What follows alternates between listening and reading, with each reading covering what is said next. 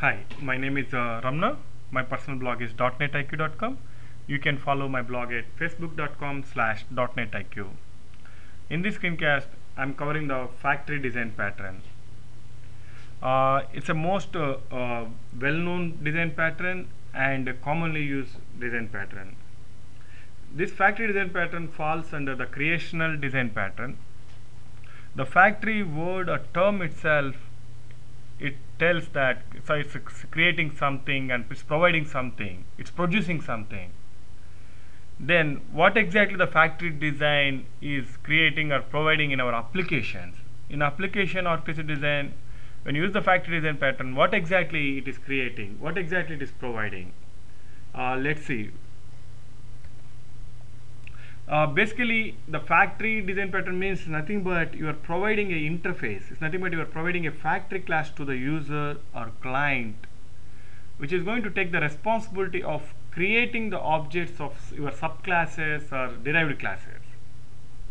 Rather user or client create the objects create the class objects or instances wherever they need they will call the your object factory which is going to provide the instances of the objects. Create object means it creates the instance and it provides the objects. So basically the factory is nothing but it's a object factory. It creates the objects and it provides the objects to the user and client. It's going to be in between the you know your uh, uh, classes subclasses based upon certain criteria it will decide what exactly what the object instance it has to create and provide to the client provide to the user.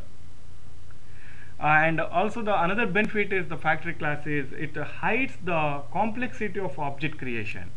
For example in our .NET framework if you take a conversion of string to double we use the convert dot uh, to uh, convert to double we are passing the string but internally it is some complex logic they are using and they are creating a double object and passing. Double object means it's a double is a basically a structure. We are creating a double object and passing to the user. So the complexity of object creation logic is uh, hidden like it's we are hiding to the user. If you don't have a factory class just imagine they, they need to use the complex complexity of object creation logic everywhere. If you need to change that logic then you need to change the different places multiple location. If you have a factory class then you need to do the the change in the one place but it's going to reflect in all the places.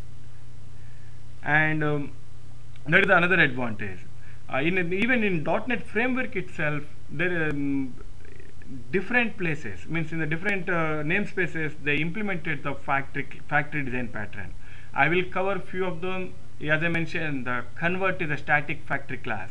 It has uh, so many uh, factory methods static methods is going to provide the objects. Uh, I will cover the later in the video. And also there is a, a, web request. That is also one factory class we implemented in .NET framework. I am also going to discuss that in the end of this video. And uh, if you take a real-time uh, real uh, real-time real-world example uh, just take a company. Company means it has a different departments like sales department uh, and engineering department and management department and you know and it has a different floors and different blocks. So just imagine if a employee get a package means if, if through FedEx the FedEx guy comes to the company and he has to find the employee and hand over the package and take the signature of the employee. For that if just imagine if there is no front desk there is no reception then how the FedEx guy is going to find the employee where he is in which block he is and uh, and what is the extension and how to trace him it's very difficult. The then what the, generally the FedEx guy does is he goes to the directly the front desk the reception and he will give the name of the employee.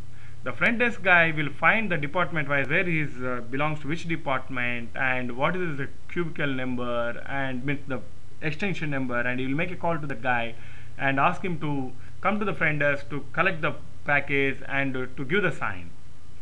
Uh, I suppose if he is not uh, uh, part of that building then the front desk guy will guide him to go to the next block or another block and he will give the direction so here the front desk is nothing but your factory and finding the employee and it's going to the uh, means uh, the factory the front desk is going to check the different departments and find him. The same example I am taking and I'm making as a, a C sharp component and I'm just I'm here if you see here the person is the common. Like you know even employee or engineer or salesperson or manager everyone is a person basically adding a person or finding a person. The I person is the interface I have. The this I person is going to implement it the management department and engineering department and sales department. So uh, if suppose depend depends upon the need uh, my resource factory. Resource factory is going to create the instance for the either one of these objects. The common thing if you see this all these three object is implemented the i person. So this is the common thing. So if the user is expecting a i person but you can you have an option to create the management uh, object or engineering object or sales department object that the factory will decide what the object instance it has to create based upon the user input. I'm going to show you the my C sharp code.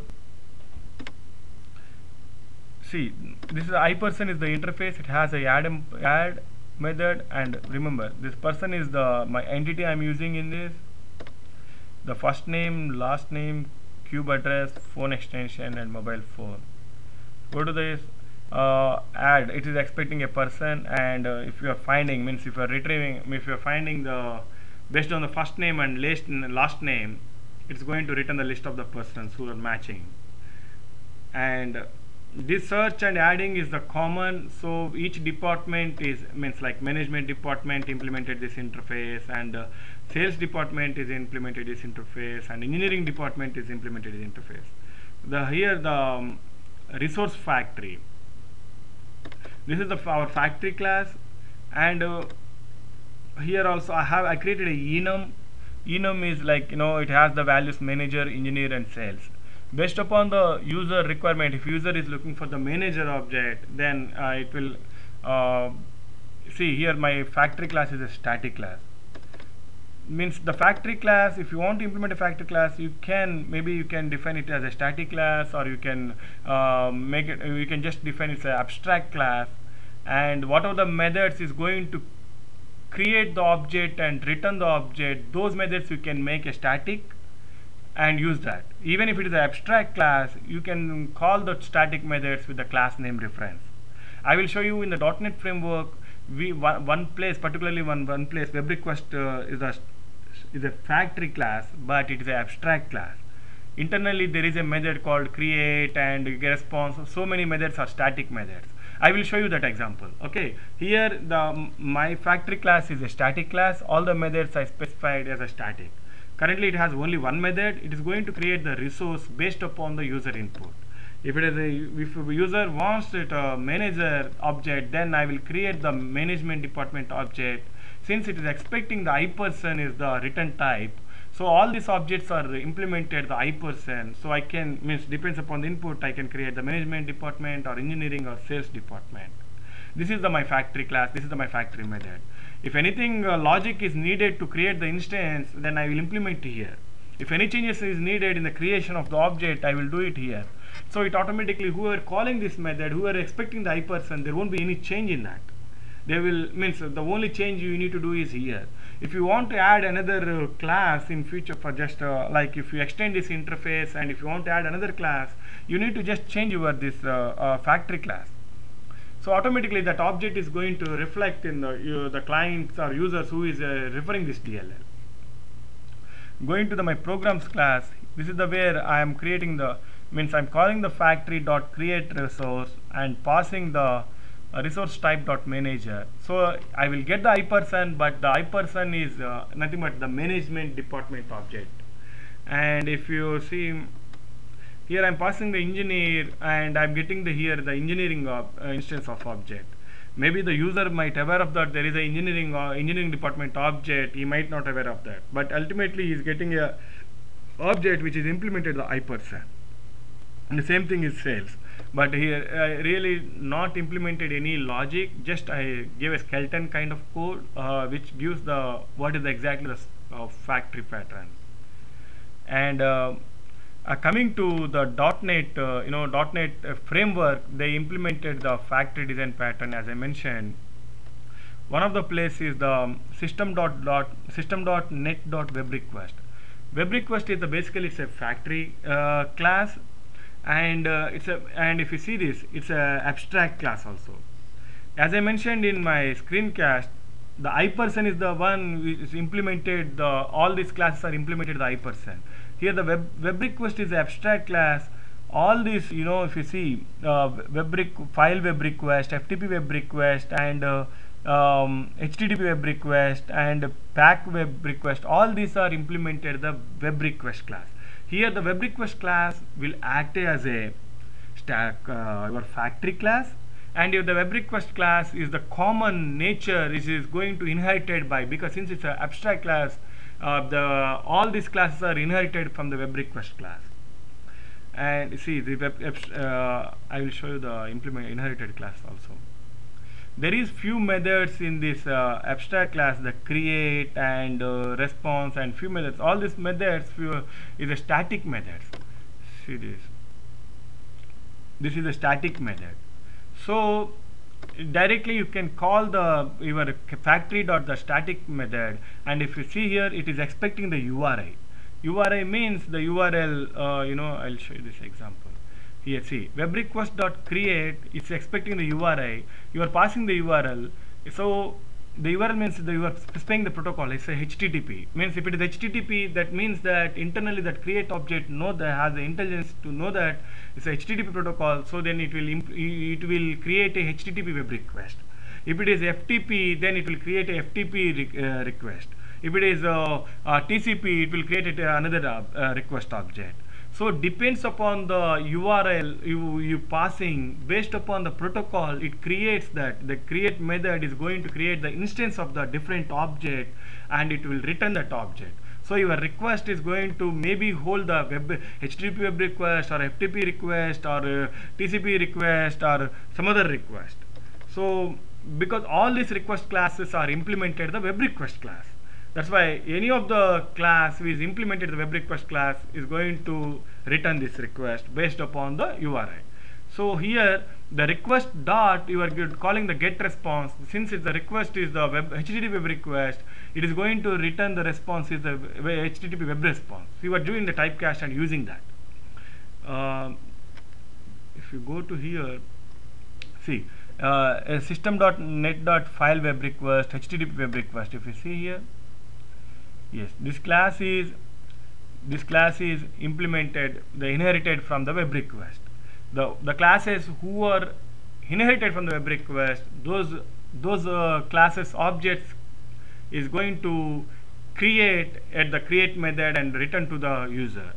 This is the one best example the factory design pattern implemented in our .NET framework. The another very good example I can say the convert.